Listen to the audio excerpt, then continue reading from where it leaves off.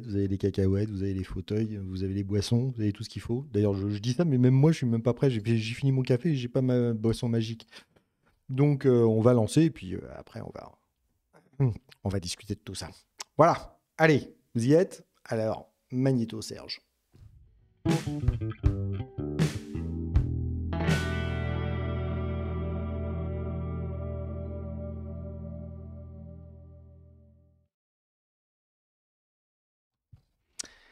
Et voilà. Et donc, euh, alors, vous le savez peut-être, parce que je l'avais annoncé un petit peu à l'avance, je devais participer euh, au REC 2023.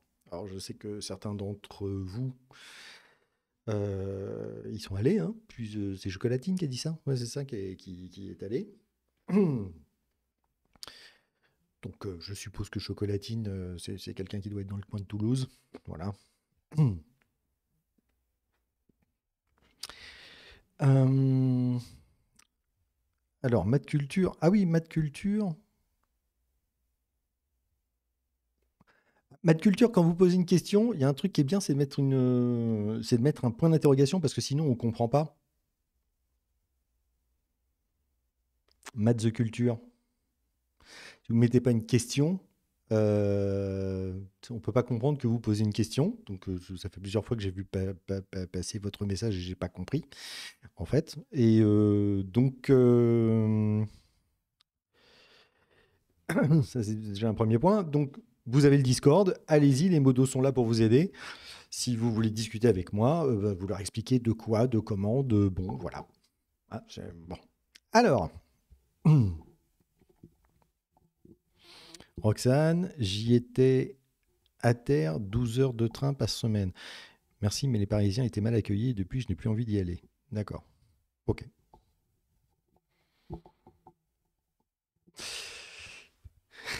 Moi je pose jamais de questions, comme ça c'est réglé.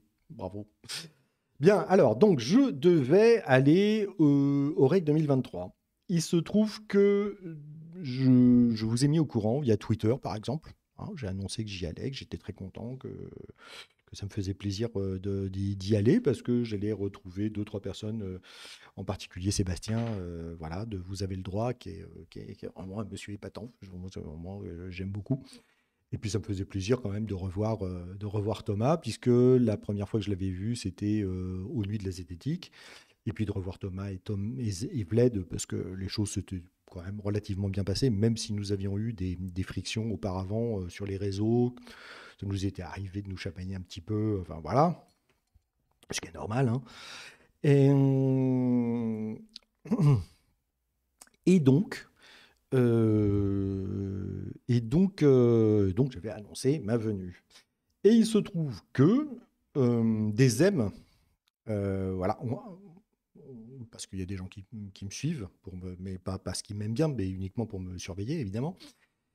Des M ont appris que, euh, je devais participer, et ils ont donc alerté, ils ont donc euh, hélé le REC via les réseaux sociaux, en particulier sur Twitter, en disant euh, Est-ce que c'est vrai que euh, cet islamophobe doit participer au REC de cette année?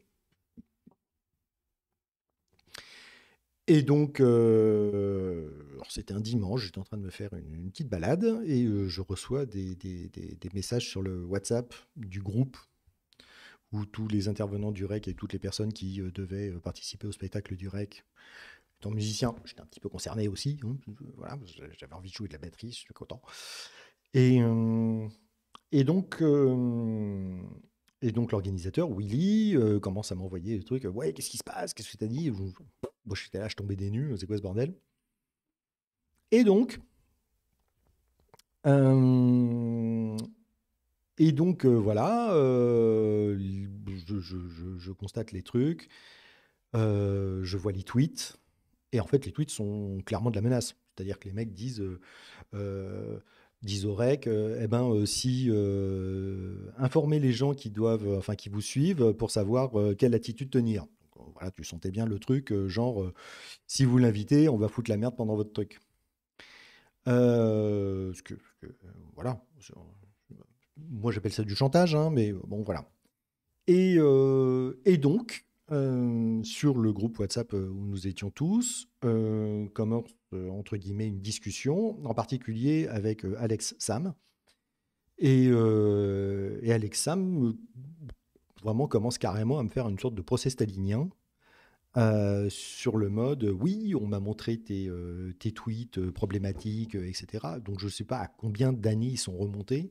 Bon, je ne suis pas sur Twitter depuis très très très très longtemps, mais ils sont remontés sur des trucs, c'est au moins sur un an et demi, deux ans largement. Donc évidemment, les reproches, c'était d'avoir d'avoir retweeté du Valeur Actuelle, d'avoir ou du Livre Noir, ou, ou d'avoir approuvé un tweet d'un type que je connaissais pas. Je trouvais simplement que ce qu'il disait était logique et puis qui s'est avéré être un mec qui avait fricoté avec le néonazisme, machin, etc. Voilà. Je sais pas, parce que enfin bon, il était proche de Marine Le Pen. J'avoue que je connaissais même pas le mec.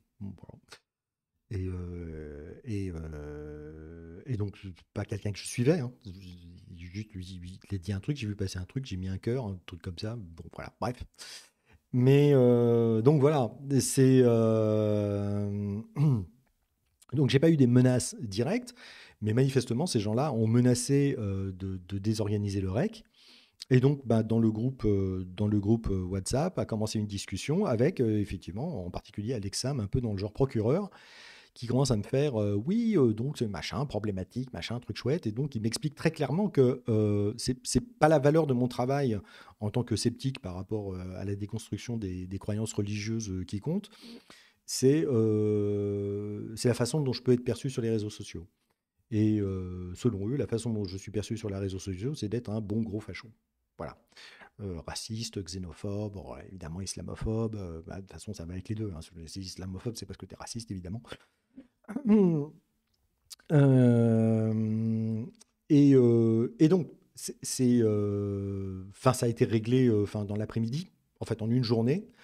donc, j'ai discuté avec Willy est arrivé, d'autres personnes sont arrivées dans le groupe, voilà, enfin, sont intervenues dans, dans, le groupe. Pour le coup, j'ai pas vu d'intervention de la part de Thomas ni de LED. Mais ce qui s'est passé, c'est qu'au bout d'un moment, j'ai dit bon, bah écoutez, je vais vous laisser discuter entre vous. Si vous pensez vraiment que euh, ma présence euh, peut... Euh, je ne suis pas là pour foutre la merde. Je n'ai aucun intérêt à être l'étincelle qui fait exploser un nouveau drama etc., etc.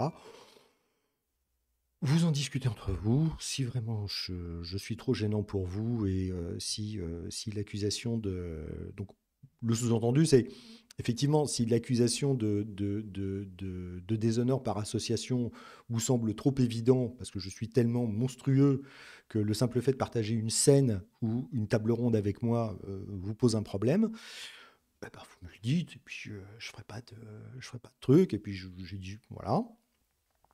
Et, euh, et, donc je les ai laissés discuter entre eux. Donc je ne sais pas ce qui s'est dit. je sais que euh, je sais qu'il euh, y a des sous-groupes qui se sont constitués, qui ont écarté d'autres personnes. Et donc, il y a des sous-groupes qui se sont constitués pour parler de mon cas. Voilà. Et que, et, que, et que donc la décision a été prise que non, j'étais, décidément pas fréquentable, que j'étais vraiment euh, trop, euh, que j'étais vraiment trop, trop, euh, trop problématique, mes, mes, mes, mes, mes positionnements, mes machins, etc. etc. Euh, et donc, bah, voilà, ce qui s'est passé, c'est que je les ai laissés discuter entre eux. et donc, bah, voilà, ils ont discuté, voilà. Et puis le lendemain, euh, dans l'après-midi ou le soir, je ne sais plus exactement. Comme c'est des messages privés, je ne vous les montre pas. Hein. Euh, là, il faut, il faut me croire sur parole, mais tant que, voilà, je ne vais, pas relancer la polémique sur les messages privés. Hein. Euh, et, donc, ben, donc Willy m'a expliqué, oui, c'est pas c'est pas la qualité de ton travail, etc., etc mais ce, serait dommage. Donc on s'est mis d'accord, voilà. on communique pas, on réagit pas. Donc moi j'ai pas réagi au, au, au tweet des M qui me provoquaient, etc., etc. Ah oui, le premier tweet que j'ai vu du, du, du, Zem, c'était ne vend pas la peau de l'ours. Juste en dessous, où je disais bah, je vais participer au REC. Juste en dessous, c'était ne vend pas la peau de l'ours. Donc il y a une volonté manifeste, hein, clairement de, de, nuire au truc, enfin, en tout cas de menacer de nuire au truc si je participais. Euh, et donc euh, voilà. Donc euh, je n'y suis pas allé, je me suis mis d'accord avec Willy pour ne pas communiquer là-dessus, ni dans un sens ni dans l'autre jusqu'à ce que le REC soit passé. Et donc, euh, bah, si j'en parle aujourd'hui, c'est simplement parce que ça fait déjà bah, pour presque une semaine hein, que le REC est passé. Donc, j'estime maintenant que je peux hein, ouvrir ma gueule.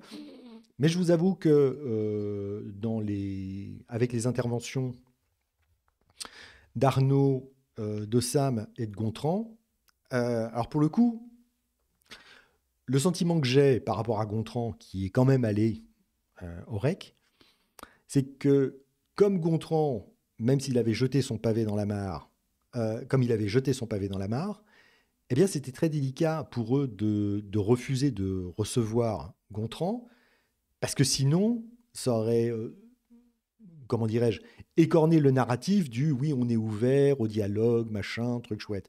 Sauf que mon expérience prouve bien que tous ces grands discours d'ouverture, de, dialogue, de refus de l'enfermement euh, sur la pureté idéologique ou ce genre de choses, eh ben, euh, eh ben c'est du ripollinage, quoi. Parce que mis en face des faits, euh, voilà ce qui se passe, en fait. il n'est pas question de fréquenter ou de discuter avec quelqu'un qui est décidé, qui est, qui est taxé d'être infréquentable par une certaine frange euh, des gens qui sont bien installés, entre guillemets, dans la zététique. Donc voilà. Donc voilà. Donc. Euh, et donc. Euh, c'est assez intéressant parce que quand ça m'est arrivé, quand tout ça m'est arrivé, ça faisait quelques semaines, deux ou trois semaines, et j'en ai parlé dans l'émission où j'ai où j'ai où j'ai où je suis intervenu chez, chez Zioclo avec euh, Psychodélique, euh, Jordan X, euh, Gaïs et Arnaud, Astronogeek, où effectivement on a un petit peu évoqué la chose. Donc moi je suis resté discret, je n'ai pas évoqué mon cas, mais pour le coup, quand les vidéos d'Arnaud, de Gontran et de Sam sont sorties, ben, en tout cas, moi j'ai envoyé un petit mail à Arnaud qui m'a très gentiment répondu. D'ailleurs, pour lui dire, bah tiens, voilà, ce qui vient de m'arriver. Donc effectivement, nous, sommes parfaitement d'accord. Euh, là, il y a une dérive. Euh, il y a une dérive assez intéressante. Et il se trouve que quelqu'un que je, connais des, associations laïques euh, avait écrit, Anne-Sophie Nogaret avait écrit il y a quelques mois, parce qu'un un peu plus d'ailleurs, je crois que c'était après, c'était juste avant ou juste après le règle de l'année dernière, avait écrit un papier dans Marianne pour dénoncer justement cette dérive wokiste de la zététique. Et c'était fait bâcher évidemment par Thomas, euh, par la TEB, enfin voilà, par tout le monde, en disant Oui, non, arrêtez, vous êtes d'extrême droite, etc. Bah oui, bien évidemment, euh, puisque Anne-Sophie est, euh, comme moi, une islamophobe. Et donc, voilà où nous en sommes des communications que j'ai eues avec, euh, avec Arnaud, et, il l'a dit plusieurs fois, euh, désormais, euh, voilà, on, peut, on peut considérer qu'il y a manifestement une rupture, en tout cas chez les, chez, les, chez les vulgarisateurs scientifiques et sur les gens qui essaient d'exercer leur esprit critique sur un certain nombre de sujets. et voilà. Donc, euh, pour le coup, euh, je, me faisais un plaisir, entre guillemets, d'avoir une possibilité, entre guillemets, de fréquenter ces gens-là, euh, voilà. Mais, vu la façon dont les choses se sont passées, voilà. Et pour le coup, j'ai reçu un message assez, assez pas sympa de, de, de Thomas. Euh, lors de l'histoire avec Psychodélique, euh, voilà, et euh, suite à la vidéo que Thomas avait faite. Alors, la discussion chez Zioclo était par rapport justement à, ce drama qui était complètement évitable et qui reposait sur rien et qui était absolument ridicule. Et, et donc, j'avais juste dit, je, pense que dans cette histoire, et Psycho et Thomas ont mal réagi, ont eu des paroles qui dépassaient. alors, politiquement correct, il dit Je saurais m'en souvenir. Voilà, exactement où, euh, je, renvoyais entre guillemets dos à dos en disant, compte tenu de l'intelligence de l'un et de l'autre, je veux dire, il faut prendre ses responsabilités, il faut arrêter de, faut arrêter de, de, mettre, de, mettre, euh, de remettre une pièce dans le noix. Euh, et Thomas m'avait répondu, je saurais m'en souvenir, sous-entendant que, que je les remettais dos à dos et, et voilà, et que si j'étais pas avec lui, j'étais contre lui.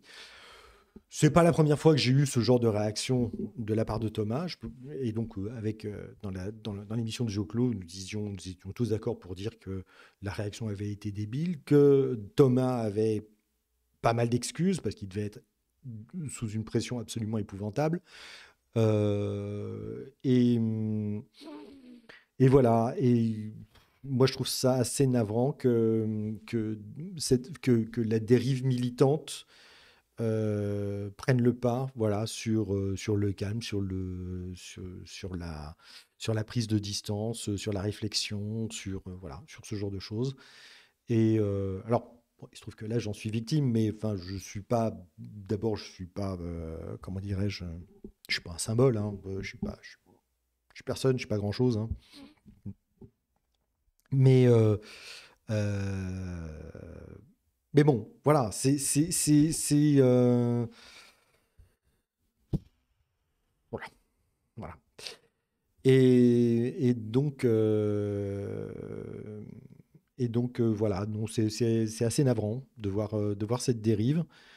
Et en fait, ce qui m'énerve surtout, c'est la tartufferie du truc sur le fait qu'il y a des grands discours d'inclusivité, de respect de l'autre, d'accueil, d'écoute, etc. Sauf, alors pour la pureté idéologique, oui. Mais à partir du moment où il y a euh, le tampon, euh, celui-là est infréquentable, bah voilà, il y a une minorité aboyeuse qui fait la loi. Et, et c'est navrant. Voilà, c'est navrant. Alors, je vois que vous réagissez pas mal à, tout ce que j'ai dit.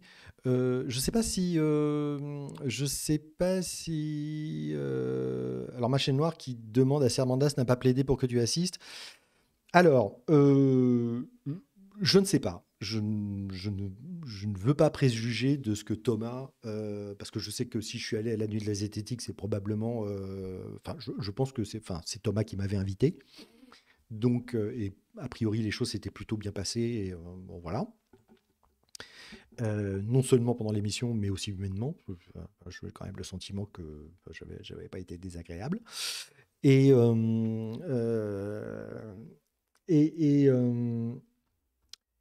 mais pour le coup, pendant toute cette histoire, j'ai eu aucun message, ni de la part de Thomas, ni de la part de Vled, ou voilà, pour, pour, pour, me dire, écoute, on est désolé de ce qui se passe, voilà.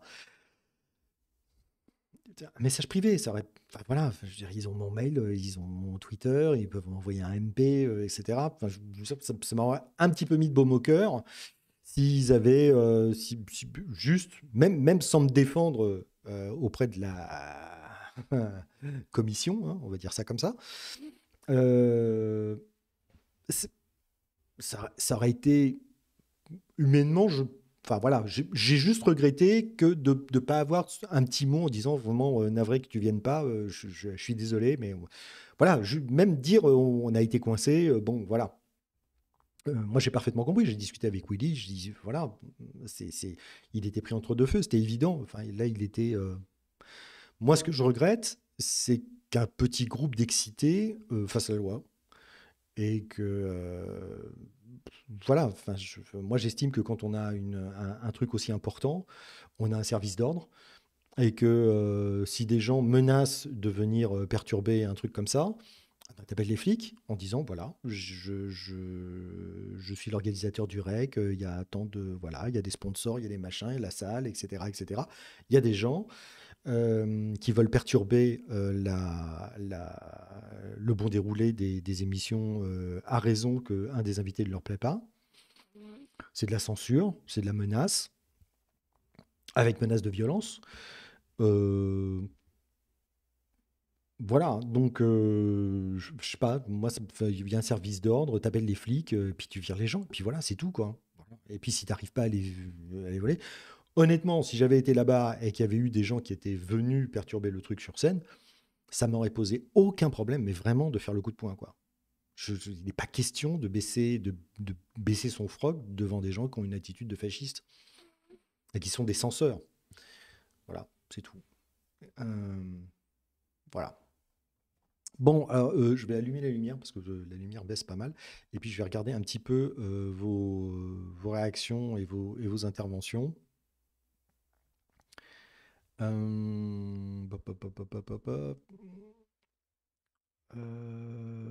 Alors, j'arrive.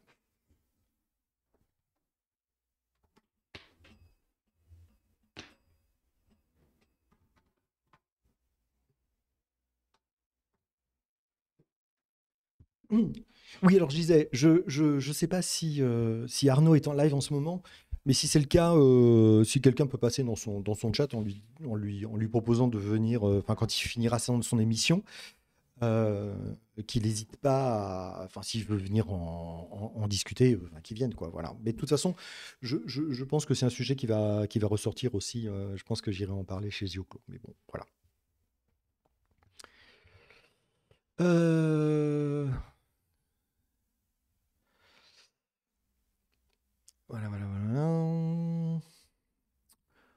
On veut les noms des. Bah, je les ai pas. Alors, si, j'en ai un. celui qui est intervenu sur Twitter et qui m'a fait chier, c'est un mec qui s'appelle Sem41. Voilà. qui a débarqué, que je connaissais de, nulle part. Mais quand je quand j'en ai parlé, euh, il y a plusieurs personnes qui ont réagi euh, en disant Ah oui, euh, c'est un. Enfin. Ben voilà.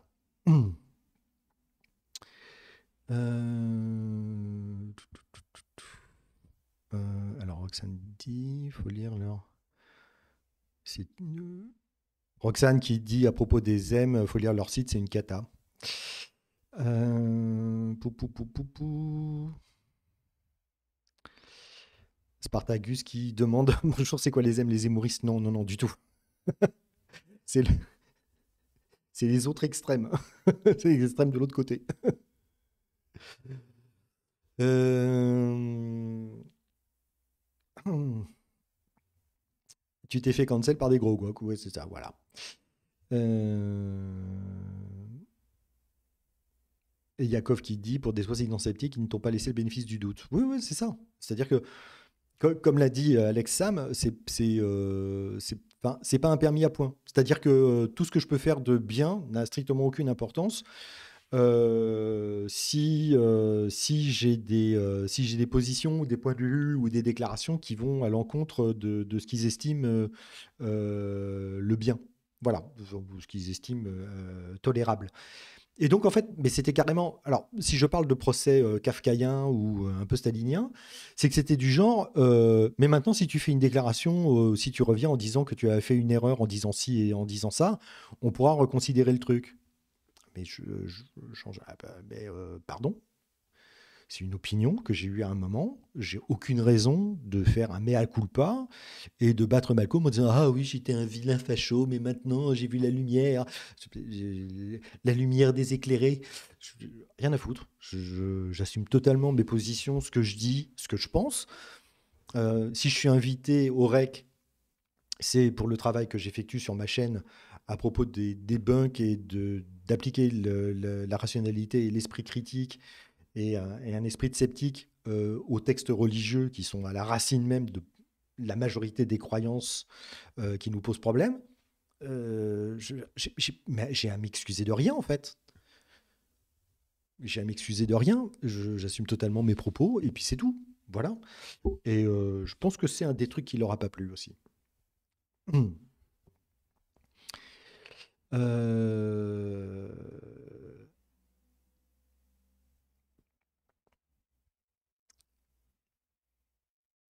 euh, Roxane qui dit j'aime beaucoup notre hôte, mais je suis pas d'accord sur tout.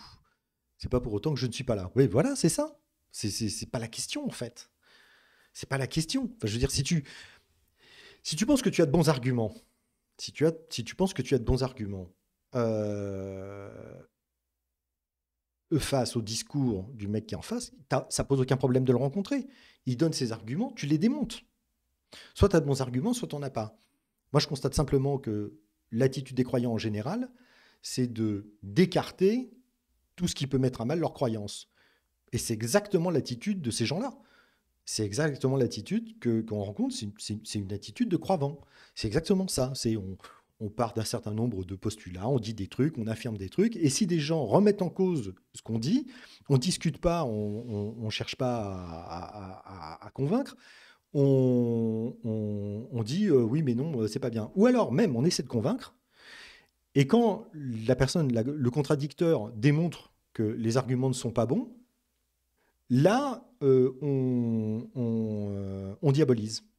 On diabolise, vous, vous êtes facho, vous êtes raciste, vous ne voulez pas comprendre, vous ne voulez pas apprendre, vous ne voulez pas vous instruire. Voilà, donc ça peut être euh, sur, différents sujets, hein. ça peut être sur la transidentité, ça peut être sur, euh, par exemple, euh, l'écriture inclusive. Moi, je me suis pris la gueule avec Richard, mon voisin, ça fait déjà au moins un an et demi, deux ans, sur l'écriture inclusive. Parce que l'argument, ça, ça, va faire progresser le féminisme et la société, mais par quel truchement, en fait? Parce que quand tu regardes les sociétés où il y a des, langues euh, extrêmement neutres, allemand, anglais, l'arabe, qui est la langue la plus neutre qui soit, enfin la plus inclusive qui soit, euh, tu, ne sont pas des sociétés qui sont beaucoup moins sexistes que la nôtre, quoi, avec notre langue latine et notre euh, neutre masculin. C'est absurde. Et en plus, cette écriture, un, n'est pas prononçable, et deux, euh, et deux, euh, complique la vie des aveugles, des, euh, dyslexiques ou, des dysorthographiques. C'est n'importe quoi ce truc-là. Et, donc, ben, donc, moi j'ai sorti des articles de linguistes, etc., pour discuter avec Richard. Et, il m'a tout simplement, alors je sais plus s'il m'a bloqué ou je crois qu'il m'a bloqué. Voilà. Donc même une des grandes figures euh, de l'esprit critique, machin, etc., mis en face de, d'arguments que je pense, moi, euh, avoir été honnête, euh, eh ben, ont des réactions de, de, voilà, de militants, quoi. Moi, ça me fait chier.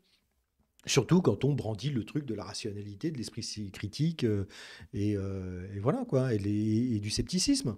Bah, ça faut être cohérent dans tous les domaines, quoi. Y compris les trucs qui vous touchent. Et moi, ça me fait chier, voilà. Ils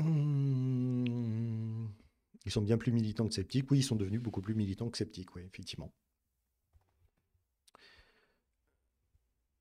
Euh, des fois, certains feraient mieux de passer plus de temps à lire le Coran que de chercher des tweets pour accuser les gens d'islamophobie. Tu m'étonnes. Merci. Merci beaucoup, Lord Lividec. J'ai pas vu ni passé, entendu passer le, le, truc, mais euh, merci beaucoup. Euh... Mais sur le pigeon malade, il faut vérifier les antécédents des gens sur cinq générations. Tout le monde sait ça. Euh, euh,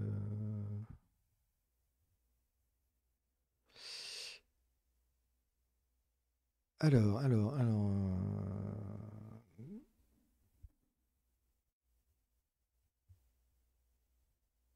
Euh, bonjour, puisque c'est votre première intervention. Euh,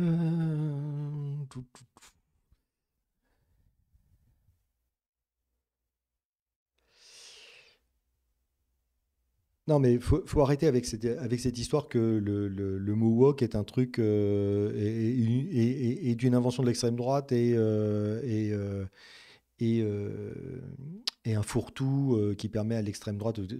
Woke, ça a, été, ça a été inventé par les woke. Hein. C'est pas l'extrême droite qui a inventé ce mot. Donc, il euh, faut arrêter maintenant. Euh, Aziline, ça fleure l'entre-soi. Oh, combien? Oh, combien? Oh, combien? Et, et, il suffit de regarder la vidéo qui s'appelle Zététique Next Generation où euh, ben, euh, quand tu commences à entendre des mots comme panique morale ou ce genre de choses, euh, voilà, tu sais où t'es quoi. au bout d'un moment, bah écoutez, allez-y, continuez sur, ce, sur, sur, cette lancée. Et ce qui est vachement intéressant, c'est que la TEB, donc par l'intermédiaire de Thomas, a, a- fait un tweet ou non, c'était une, une- une communication sur Facebook où suite à cette vidéo, en gros, euh, il, prenait ça un peu à la légère, euh, où il expliquait que, euh, ben euh, oui, euh, suite aux règles 2022, euh, tout le monde disait oui, c'est une réunion de, de FAF. Et il mettait en parallèle euh, les commentaires qu'il venait d'avoir sous la vidéo de présentation donc, euh, de Next Generation, euh, où en fait il y a énormément de réactions de gens qui sont extrêmement déçus justement de la dérive euh, ultra-gauchiste, militante, euh, voilà, euh, de, de- la zététique. Et, et Thomas avait l'air de, enfin, faisait une comparaison entre les deux.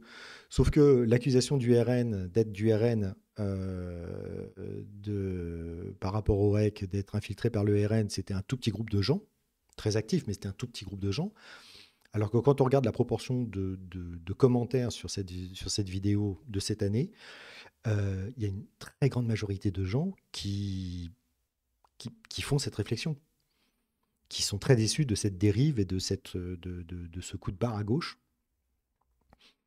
Et donc, bah, c'est dommage parce qu'avec ce coup de barre à gauche, euh, bah, la zététique part à l'ouest, quoi. Euh,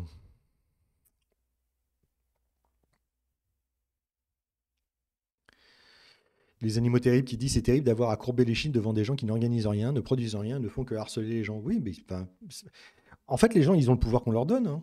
Ils ont le pouvoir qu'on leur laisse. Il suffisait de dire non, allez vous faire foutre. On discute avec tout le monde, euh, on reçoit les gens qui nous paraissent intéressants, et puis c'est tout. Mais après, euh, c'est pas, c'est pas, c'est pas, euh, c'est pas la première fois qu'il y, a- ce genre de truc. Pour moi, la première alerte, la, la première alerte euh, par rapport à ça, c'était un live de la tronche en biais qui a disparu, qui a été euh, supprimé. Ils avaient invité Peggy Sastre. Et Peggy Sastre, c'est, une, euh, quelqu'un qui a une vision euh, dans les rapports hommes-femmes ou des choses comme ça, qui ne néglige absolument pas, voire qui dit que- même que l'aspect biologique est aussi important que l'aspect culturel. Et ça, c'est un truc que une certaine gauche ne supporte pas, en fait. Et une certaine vision, voilà, dans les SHS, il y a tout un courant qui ne supporte pas euh, le, fait de prendre en compte que, effectivement, au niveau biologique, voilà, c'est comme ça, euh, il y a des différences hommes-femmes. Et, euh, je, viens de, repartager justement euh, euh, un article qui a été traduit par Peggy, justement, euh, sur euh, un, un article qui a été euh, supprimé d'une revue scientifique, un article de mathématiques, un article de mathématiques, qui travaillait, alors quand vous regardez les courbes euh, euh, de la répartition, par exemple du QI, de la violence, et choses comme ça, etc. On sait très bien que les femmes sont plus au milieu, hein, la courbe de Bell est beaucoup plus étroite, d'accord, que chez les hommes. Ça veut dire qu'il y a beaucoup plus d'hommes aux extrêmes que chez les femmes. Alors c'est vrai pour la violence, c'est vrai pour l'intelligence, c'est-à-dire qu'il y a beaucoup plus de débiles mentaux chez les garçons, et il y a plus de génies chez les garçons que chez les femmes. Ça ne veut pas dire qu'il n'y a pas de femmes qui sont des génies, c'est pas ça, hein. mais il y a plus de gens doués, pour les, hyper doués pour les maths, euh, les sciences, tout ça, etc., chez les hommes que chez les femmes, et il y a beaucoup plus de mecs complètement nuls chez les hommes que chez les femmes. Voilà, les courbes sont différentes. La courbe des hommes est beaucoup plus large sur le spectre. Et c'est un truc qu'ils ont, enfin, ils ont fait un article mathématique pour essayer d'expliquer justement ben, sur la violence, sur euh, la proportion à faire des maths et tout ça. C'est un article de mathématiques à propos du pourquoi il y a plus de mecs qui font des maths que des femmes. L'article était inattaquable du strict point de vue scientifique. Enfin, je veux dire, les mecs, ils sont faits, enfin, re- revus par les pairs, machin, tout ça, etc. Et quand c'est arrivé au niveau universitaire, au niveau de la publication, euh, bah en fait, l'article a été squeezé, tout simplement parce que c'était un risque de décourager les femmes de faire des maths, enfin de faire des sciences, de rentrer dans les STEM. Le truc complètement dingue, en fait, parce que c'est pas du tout ce que disait l'article. C'était juste une constatation. Qui était, qui était montré par les statistiques, etc. etc. Source, vous pouvez trouver la source parce que j'ai j'ai j'ai posté ça sur Twitter. je l'ai je l'ai partagé sur alors je sais plus si je l'ai partagé sur Twitter ou si j'ai fait un retweet du tweet de Peggy Sastre voilà qui a, qui a fait la traduction d'un article voilà et, et cette traduction est parue dans le Point je crois voilà, c'est ça. C'était un article du Point qui était une traduction faite par. Alors en fait, c'est un article américain, je ne sais plus de quel journal, euh, que Peggy a traduit pour Le Point. Et ensuite, Peggy a, partagé l'article sur son Twitter. Et moi, j'ai repartagé le tweet de, le, tweet, de Peggy. Voilà. Donc c'est relativement facile à trouver. Et, euh, et, voilà, et donc on en est là. C'est-à-dire que il y a des gens qui viennent de vous expliquer que la science, euh, c'est un truc de blanc, euh, et qu'il y a des mathématiques blanches ou, ou, ou de racisés, enfin, je il faut arrêter les conneries, quoi. Ça devient n'importe quoi. Donc bon.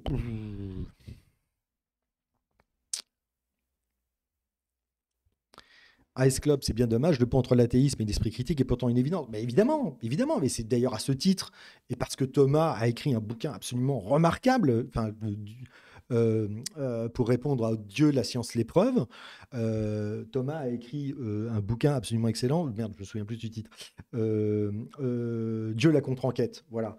Qui est excellent. Qui est, qui est, il a écrit un bouquin absolument formidable et que, je recommande vraiment à, n'importe qui. Enfin, c'est, au niveau français, ça faisait, à part le, à part le, je pense que après le, petit traité de la théologie d'Onfray, c'est un, un, des bouquins essentiels à avoir quand on est athée euh, francophone. Quoi. Enfin, son bouquin est formidable.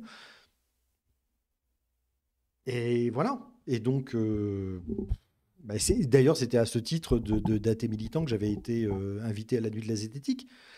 Et donc, où j'avais expliqué d'ailleurs que je, ne me considérais pas zétète pour un certain nombre de choses. voilà. Mais voilà quoi.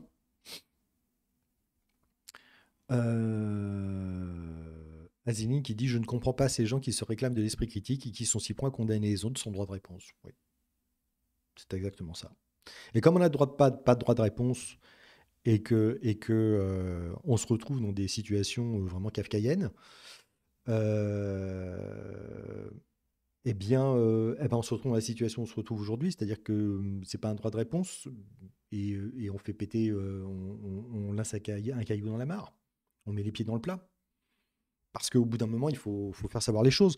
peut-être que je le paierai, hein, peut-être que je vais perdre des abonnés, peut-être que désormais, enfin, Thomas me, gardera un chien de sa chienne définitive, peut-être que je, ne serai jamais invité au REC, etc. Ben, c'est pas grave, c'est pas grave. Hein. De toute façon, il y a une scission qui est, qui est effective.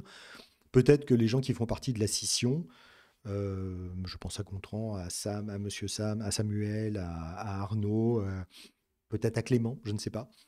Euh, et, des gens comme moi, peut-être, voilà, ou Jordan X. eh ben, peut-être qu'on va hum, lancer autre chose. Voilà, essayer d'avoir une réunion de l'esprit critique ou ce genre de choses. Alors, je travaille. Alors, je viens de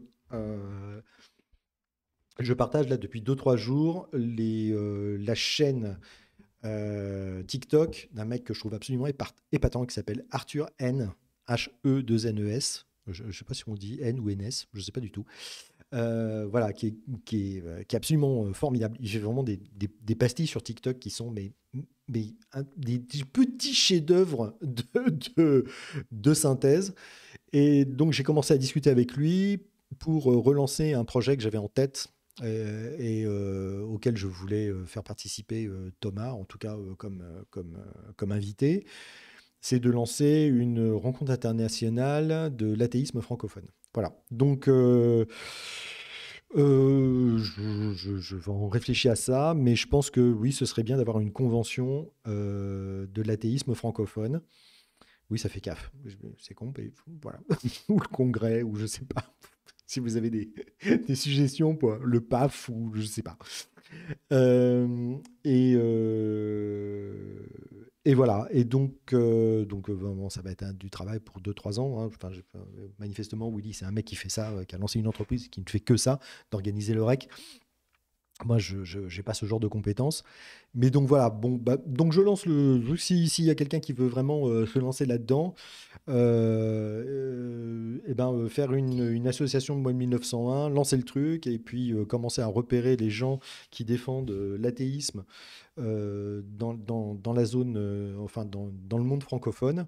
Donc évidemment, hein, Guillaume, tout ça, les copains de Québec, déjà évidemment, évidemment, hein, voilà, ce serait bien si euh, s'il y a des gens qui, qui, font du contenu, voilà, qui écrivent des bouquins, etc., ça peut vraiment. Euh, hey, Samuel. Merci, mon grand. Il euh, y, a, y, a, y, a, du boulot, mais je, je, je, pense que ça devient nécessaire. Vraiment, je pense que ça devient nécessaire. On verra comment les choses vont évoluer, mais il me semble.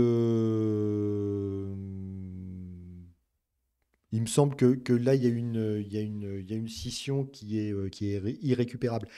Et, euh, et qu'une bonne partie des gens qui suivaient la TEB sont extrêmement, mais extrêmement déçus euh, de cette évolution. Voilà.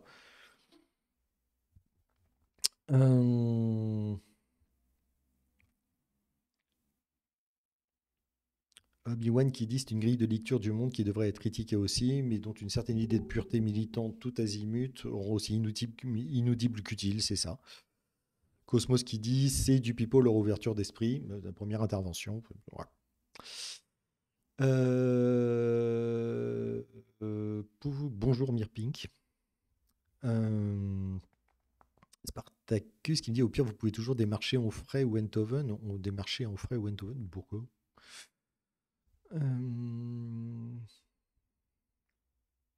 Alors. Leur problème, c'est que si des fachos disent le ciel est bleu, peut-on dire la même chose? Carrément ça, oui.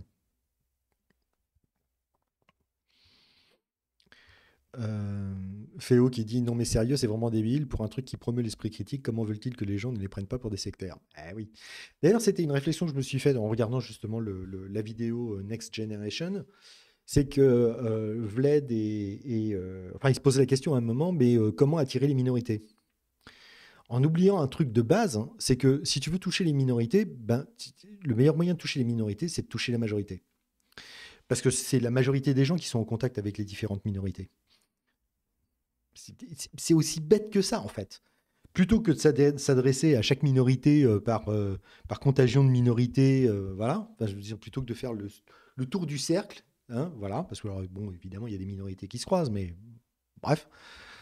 Euh, euh, toutes les personnes en fauteuil roulant ne sont pas noires et lesbiennes, ça se saurait. Et, euh, donc, si, si, tu veux toucher les différentes, les différentes minorités, il faut toucher la majorité. Sauf que leur attitude et leur discours, ben, par définition, restreint le cercle. Quoi. Et donc,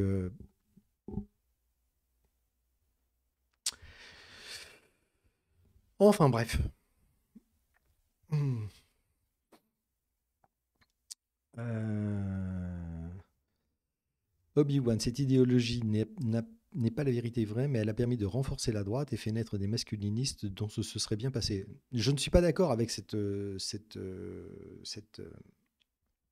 attitude. Enfin, cette, cette analyse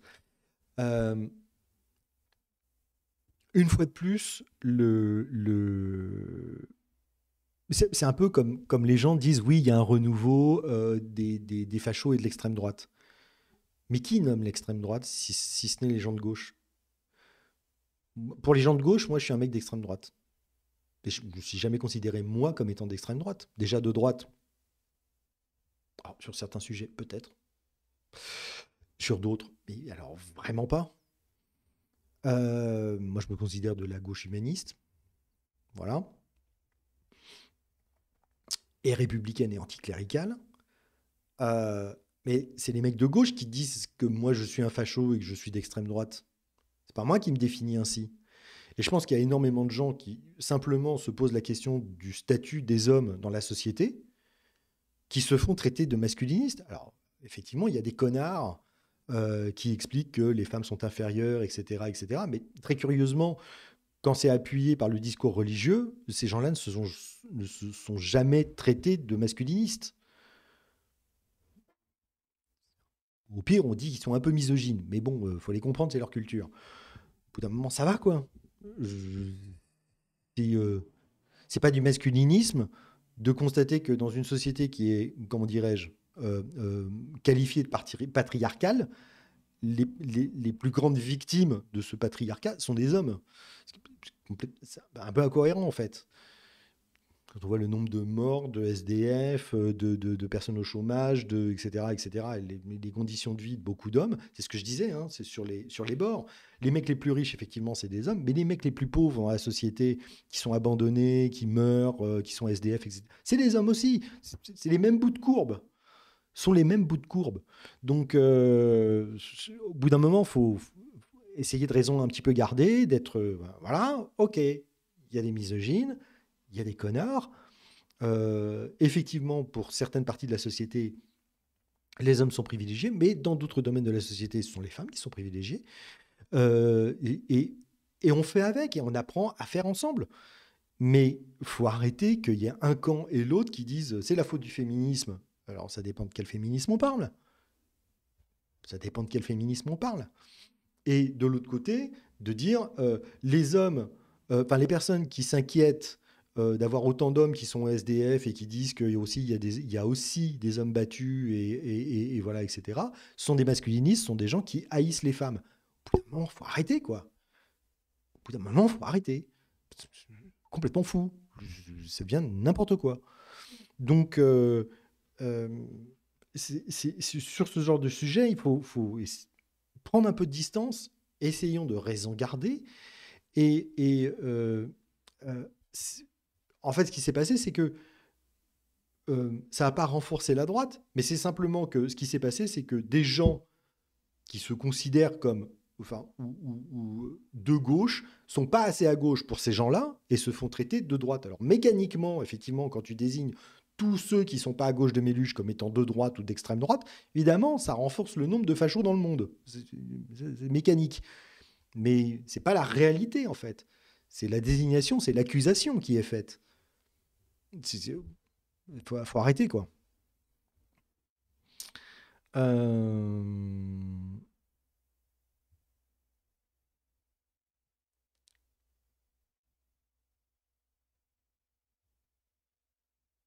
Euh, alors Spartacus qui dit son épistémo était fini à la pisse, en même temps c'était les guides de la part de Mandax de Lavoinet. Je ne sais pas quoi vous faites référence. Il falloir expliquer un peu.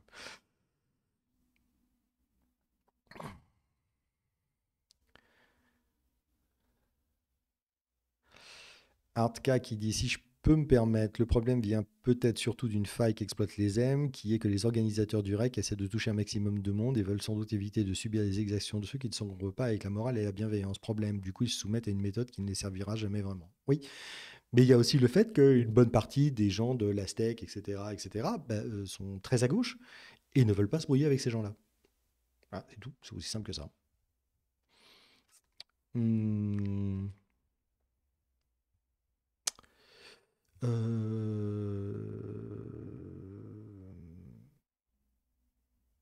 tract Science, ou plutôt Miss Plume, on fait une vidéo sur la vulga à partir de Bolshevik et ça permet de remettre les termes entre vulga et médiation.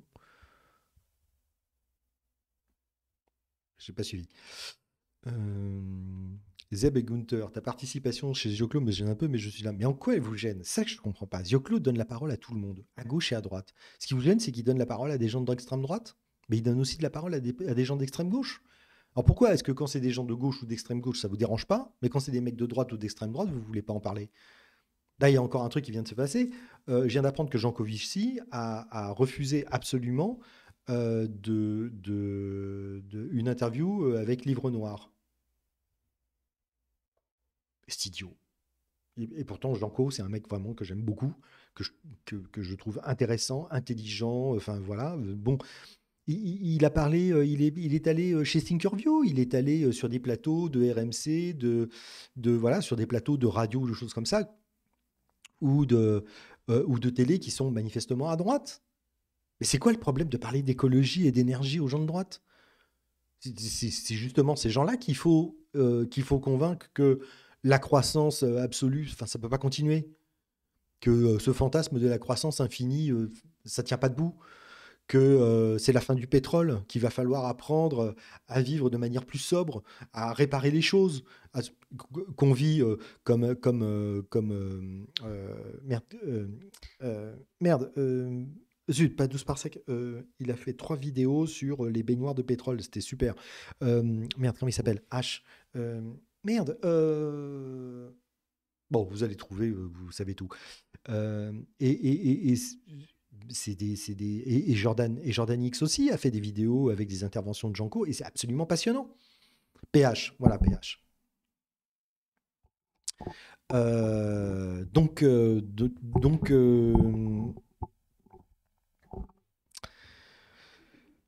donc voilà. Voilà, c'est moi, moi ce qui me gêne, c'est le côté Tartuffe, c'est on fait de grands discours et on n'applique pas ce qu'on prêche. Voilà, voilà, c'est surtout ça.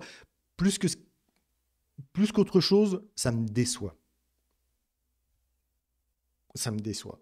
Voilà. Euh, alors il se trouve que là j'ai été victime du truc, mais enfin c'est pas la première fois. Mais là je réagis parce que bon c'est moi et puis que j'entends toujours ce discours euh, ce discours continue de l'ouverture à l'autre, de l'écoute, de machin, de trucs. Bon, voilà. Euh,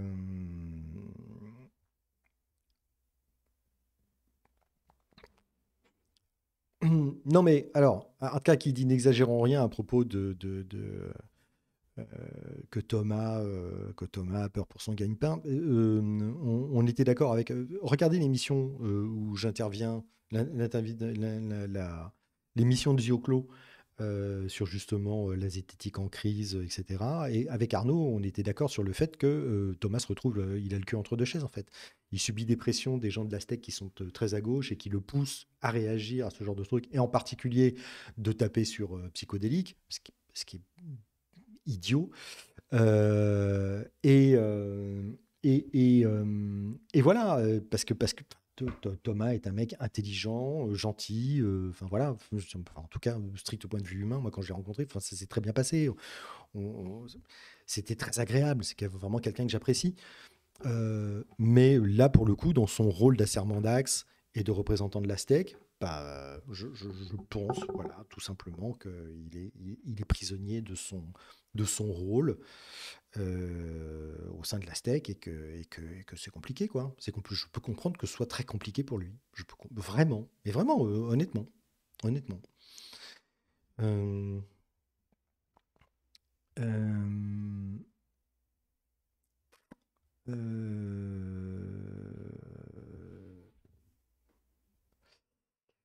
Spartagus dit il y a plus simple sinon j'ai pas compris. Euh...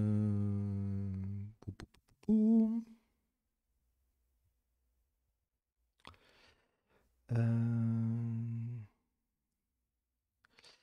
Pop, pop, pop. Alors, euh...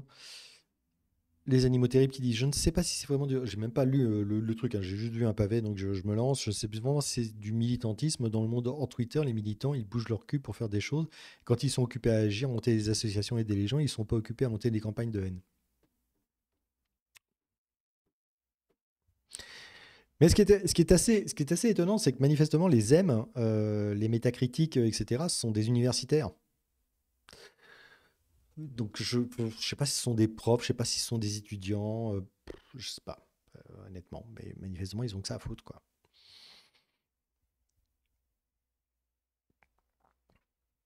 Euh,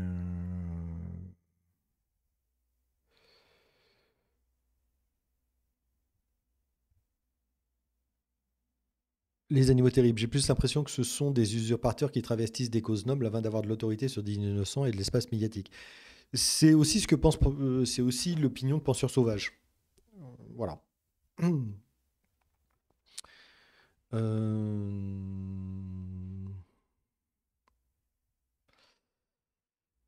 euh, alors, sorcière qui se, qui se plaint de sa connexion. Et Guillaume qui dit fermer Pornhub, ça va aider.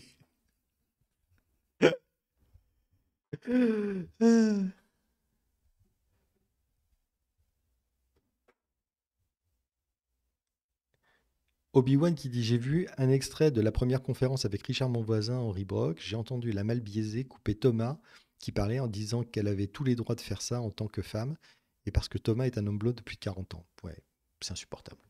C'est débile. C'est débile. Euh... Quand Astronogie a fait son expérience sociale au protocole plus que douteux, Maître Mandax lui avait juste dit sur Twitter quand on chie dans son salon, faut pas t'étonner que ça pue. Euh...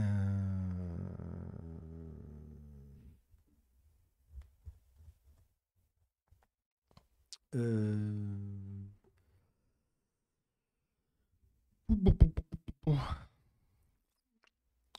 Euh, parce que ça l'est, mais n'était pas. Ah, attends. Pépin qui répond à Obi-Wan. Attends, euh, c'est où? Obi-Wan qui a dit un truc. Euh, en fait, ils utilisent les mêmes méthodes de ceux qui ont fait interdire un concert dans une ancienne église. C'est ça, c'est pareil. C'est du. C'est de la croyance, c'est de la croyance. C'est le même genre de, c'est le même genre d'attitude. C'est, c'est lamentable. C'est lamentable.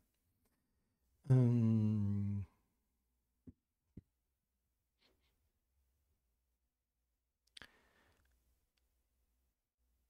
Euh...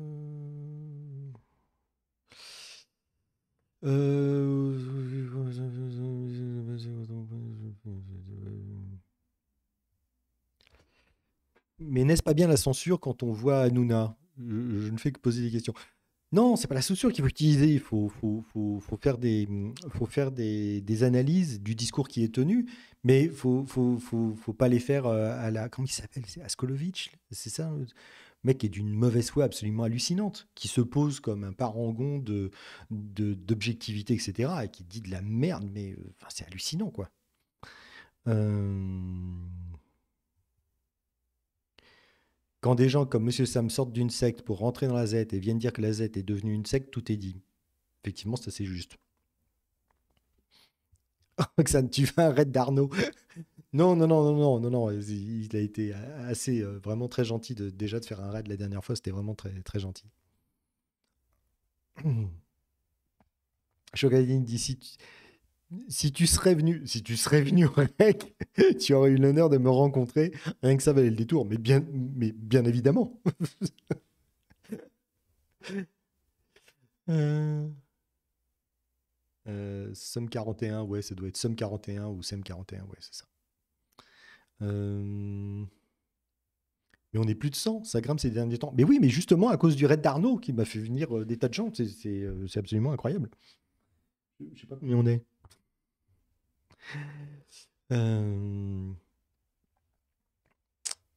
Euh...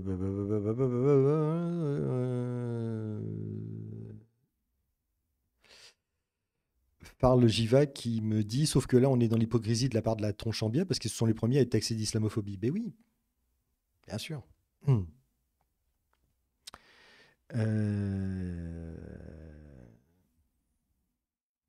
Out of Order qui dit ça fait mal au cœur de voir la TEB tout faire pour se rapprocher de la ZEM, mais ça peut se comprendre. S'il ne le faisait pas, il serait isolé de la sphère. Non, il s'est passé le contraire en fait.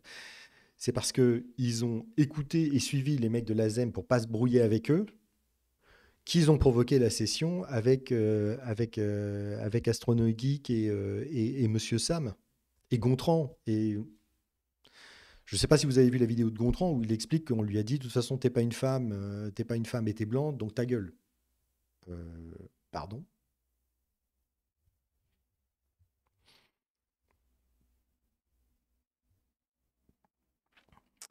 euh,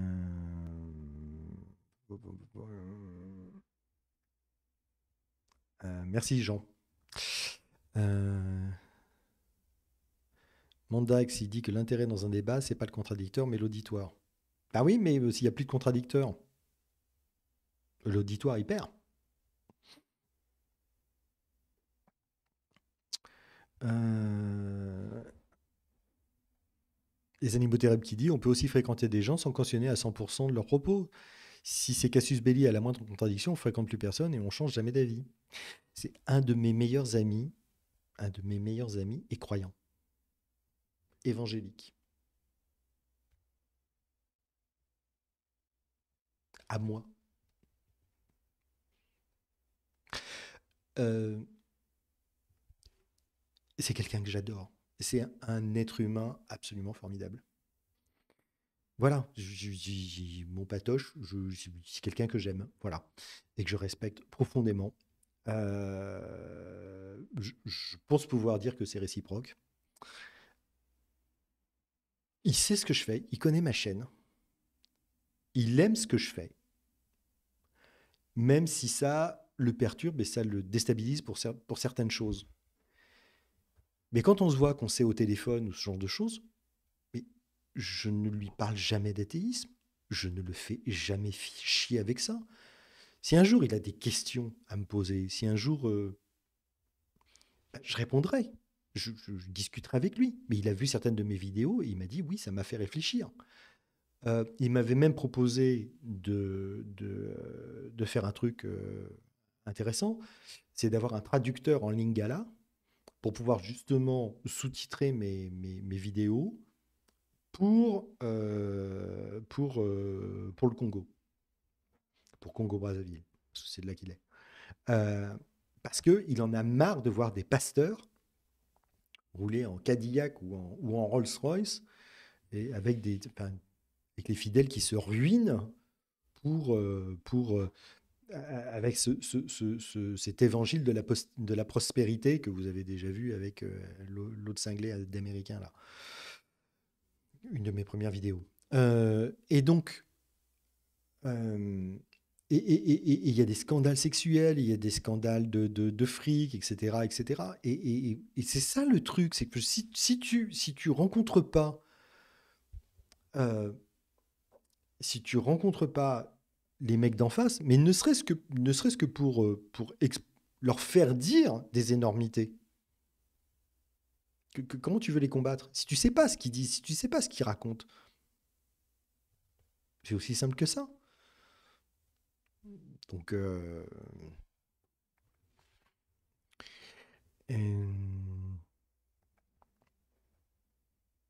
euh... Je préfère l'écriture inclusive qui dédoue, par exemple, les étudiants et les étudiantes. Mais oui, mais bien sûr. Mais, là, c'est du français, ça pose aucun problème. On peut très bien préciser les choses, mesdames, messieurs. C'était dans la tradition. Mesdames, messieurs. Euh... Roxane, euh, j'essaierai de vous convaincre sur l'écriture inclusive. Bonne chance. Euh, bonne chance. Vraiment, non. Il euh, va falloir avoir de très, très, très, très bons arguments. parce que plus je suis confronté aux arguments des gens qui sont promoteurs de ce truc-là, plus je trouve que ça tient pas debout.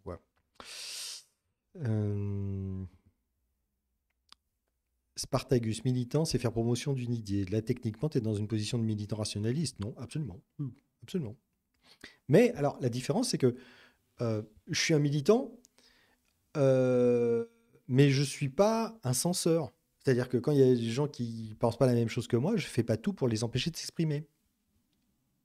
Je les rencontre, je discute avec eux. C'était le but de, ma rencontre avec Jean Robin, par exemple. Voilà. Qui est euh, le, le, contraire de mon ami Patrick. Voilà. C'est une, il y a le croyant à l'agent Robin et il y a le, croyant à Montpatou. Voilà. Euh, pas pareil. Euh...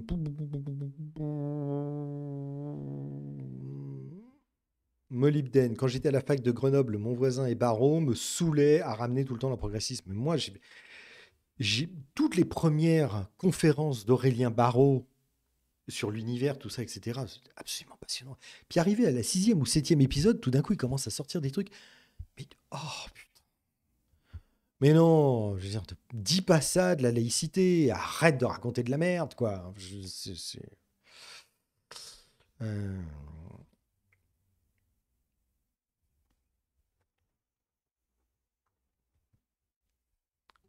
Non, non, Roxane. Non, Roxane. C'est pas pas l'extrême droite qui en France l'a récupéré en premier pour jouer sur la panique morale. La panique morale, ce, terme de panique morale ne vient pas de l'extrême droite. ce terme de panique morale vient de la gauche. Et d'ailleurs, ça veut dire quoi, panique morale? C'est toujours la psychiatrisation de l'adversaire. Panique morale, ça ne veut rien dire. Ça ne veut rien dire.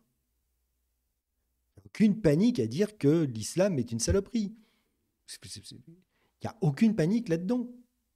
Et de dire qu'il y a un certain transactivisme qui est insupportable. Il n'y a aucune panique morale là-dedans. C'est euh, comme, euh, comme l'utilisation du, suffixe phobie. Ça permet systématiquement de dire à l'autre que si tu penses ça, c'est parce que tu n'es pas rationnel. Et tu n'es pas rationnel parce que tu as peur.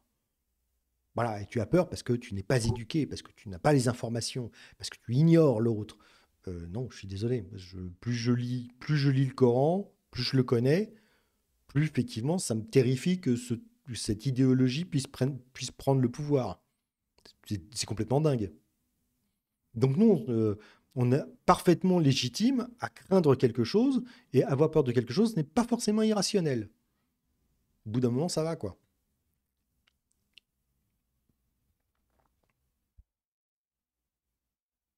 Spartagus, woke, ça vient du mouvement BLM. Ça vient pas des woke, personne se. Mais si, il y a des gens qui se revendiquent woke. Bien sûr que si.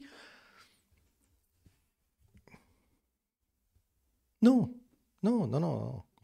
Panique morale, ça ne veut rien dire. Il est pas mal documenté en sciences humaines. Mais quelles sciences humaines? C'est toujours les mêmes, en fait. Panique morale, c'est toujours l'accusation de l'autre que bah, tu irrationnel. Donc ce que tu penses n'a aucune importance. Non, je suis désolé. Euh...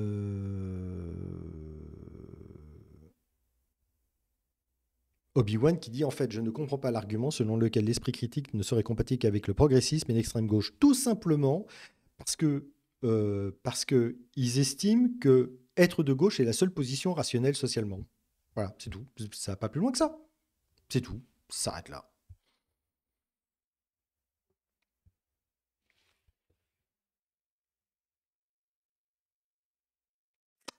Et il précise, euh, je précise que mes valeurs sont à gauche, mais que je ne suis ni de droite ni de gauche, vu les délires idéologiques et le climat actuel. Je me reconnais dans rien. Mais voilà, nous sommes beaucoup dans, ce, dans, ce, dans cette position. Moi, je me suis toujours considéré comme étant de, de, de, la gauche universaliste et anticléricale. Et je suis désolé, mais la dérive euh, gauchiste et, euh, et woke, mais, ça me gêne absolument pas de dire le mot woke. Je ne sais pas pourquoi je ne le dirais pas. Euh, et euh, voilà, les gens qui sont euh, aware, voilà, s'il faut changer un autre mot, non, les gens, qui ont conscience, ont conscience de quoi Mais conscience de quoi? Les gens, Ces gens n'arrêtent pas d'invoquer de, de, le racisme systémique. Jamais aucun. chaque fois que j'ai posé la question, de leur dire quelle est pour toi la définition du racisme systémique? Et est-ce que tu peux me donner des, des faits concrets, des statistiques, etc., qui prouvent le racisme systémique, à chaque fois, ça finit, euh, en blocage ou en insulte, etc. C'est du, vent. Surtout en France, quoi. Surtout en France, qui est effectivement un racisme endémique. Nous sommes d'accord. Aux États-Unis, de par leur histoire, évidemment c'est absolument ridicule. Moi, je n'ai pas à m'excuser euh, de, ce qu'a pu faire la capitainerie euh, de, de Bordeaux au 18e, au 19e, au 18e siècle euh, par rapport à l'esclavage. quoi. faut arrêter. faut arrêter. Mes ancêtres, ce n'étaient pas des gens qui possédaient des esclaves. Hein.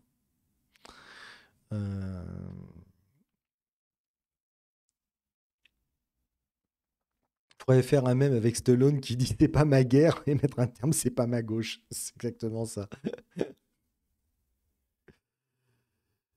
Euh, Polisson qui dit euh, les gens se nomment, créent un concept et après critiquent qu'on utilise leurs normes. Oui, bien sûr.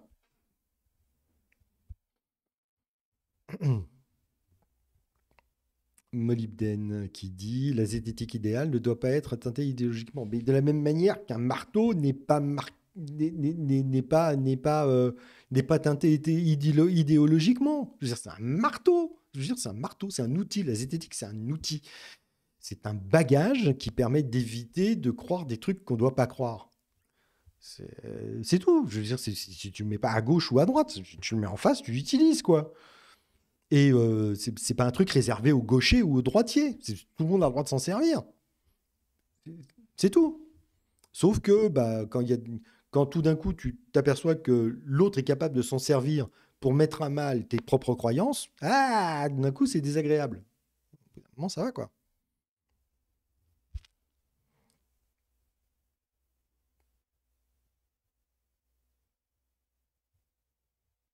Ne remets pas en cause la culture du viol, s'il te plaît. Cette femme est folle, il faudra qu'on en discute. La culture du viol, mais il faut arrêter avec cette notion de culture du viol. Il y a, euh, oui, effectivement, on vient d'une société qui était extrêmement violente avec les femmes. Euh, c'est absurde, c'est absurde. Arrêtez avec cette histoire de culture du viol. Si on avait une culture du viol, on n'aurait pas des lois qui punissent les violeurs.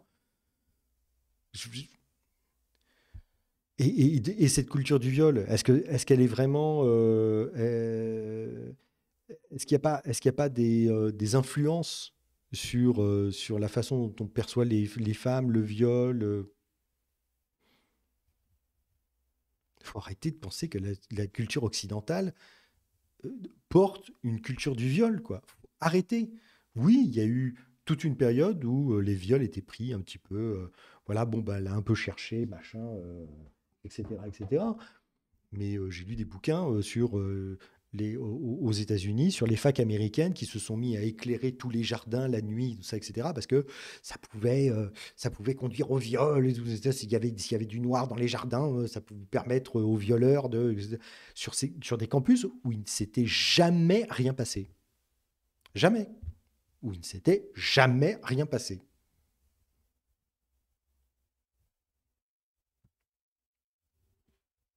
Et, moi, j'ai rencontré, il y a une vingtaine d'années, euh, ouais, ouais, c'est ça, ouais, une vingtaine d'années, euh, j'habitais juste à côté de l'université américaine de Paris, d'accord, qui est avenue Bosquet.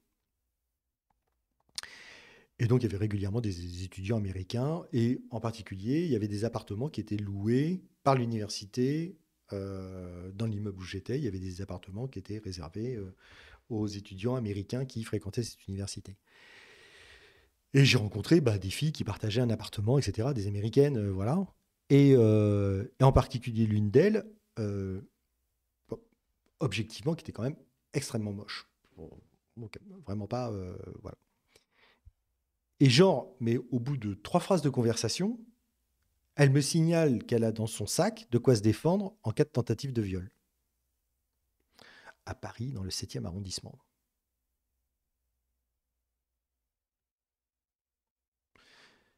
C'est comme ces gens qui ont des grilles de lecture qui est systématiquement racialiste, ou je comme ça. Tu, finis par ne voir le monde que par ce prisme. C'est complètement délirant, quoi. Surtout quand on sait que l'immense majorité des viols sont commis par des proches, des gens qui te connaissent, qui sont dans ton cercle intime, qui sont des amis d'amis au maximum, mais les viols commis par des gens complètement extérieurs dans l'espace public, choses comme ça, c'est rare. C'est rare, c'est pas la majorité. Donc je suis désolé, mais non.